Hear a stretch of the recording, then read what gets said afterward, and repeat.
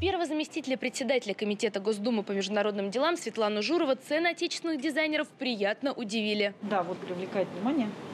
Мне нравится платье. Кстати, такое как раз смотрела. Искала. Сейчас посмотрим, сколько оно стоит. Так, 8 тысяч рублей. Да, нормально. Цена хорошая.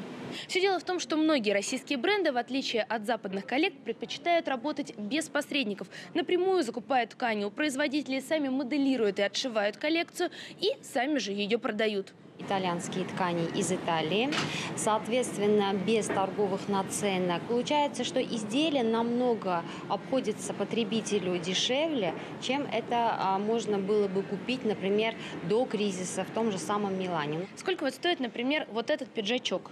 Вот смотрите, показываю. Это классический костюм.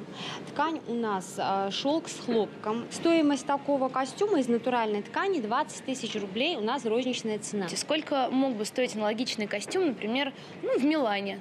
Я думаю, что аналогичный костюм в Милане, он будет стоить, ну, как минимум, тысячу евро.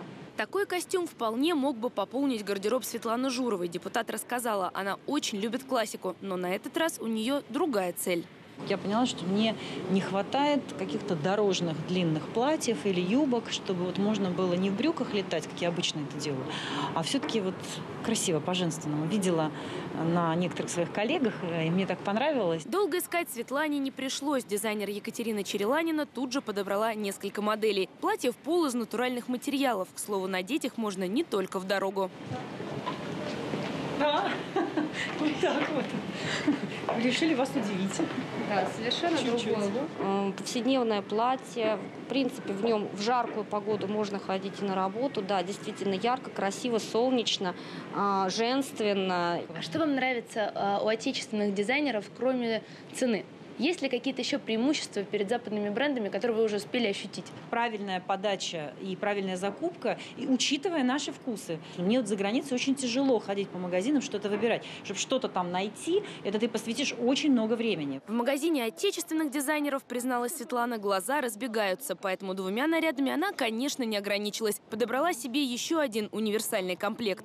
Белая юбка с белым поясом, подчеркивающий талию, с а, очень красивый шелк а, такого винно-бордового цвета. Удобные рукава, высокие манжеты, то есть можно и действительно и поднять вот так вот, и опустить. Помимо работы можно пойти на вечер. А у меня часто работа превращается в вечерние мероприятия. Поэтому учитывать надо это всегда, и вообще в одежде это всегда учитываю. Из магазина Светлана ушла с твердой уверенностью. Она обязательно вернется. Но не только для того, чтобы поддержать отечественных производителей. Коллекция российских дизайнеров, резюмировала депутат, ей понравилась больше, чем то, что их западные западные коллеги подготовили к сезону весна-лето. Елена Шевелева, Дмитрий Гусев, Нона Амбарцумян. Life News.